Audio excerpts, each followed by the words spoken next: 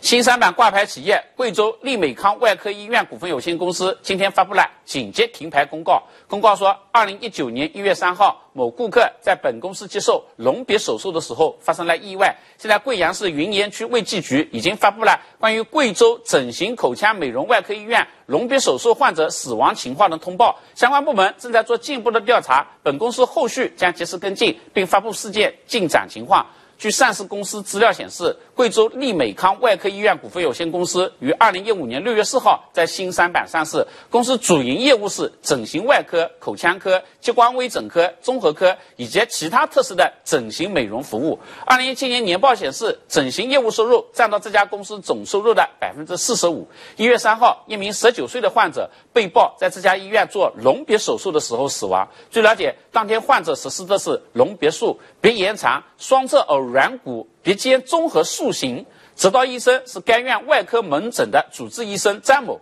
手术过程中，患者出现了四肢强直、痉挛等情况，转贵州医科大学附属医院抢救无效死亡。一月四号，贵州利美康外科医院通过官方微博回应说，顾客在手术中出现了恶性高热的症状。我院考虑这次意外的发生是麻醉并发症，但一切以司法鉴定的结果为准。关于医学，我是彻底的外行。但是科技日报的这篇报道是这样说的：作为临床麻醉所致的严重并发症，恶性高热不但十分致命，而且发病非常的迅速。它在成人中的发生率是五万分之一。在科幻美剧《相对宇宙》第一季第四集中，就有这样的情节：男主角的女儿告诉医生，他妈妈是恶性高热症的易感人群，不能够接受任何麻醉药剂。贵州医科大学附属医院烧山整形科主任雷宇解释说，隆鼻手术并不算是什么高危手术，仅从手术的角度不会出现高热，即便是假体植入感染发热，也不会如此之快。凶险之外，很有可能是在于麻醉。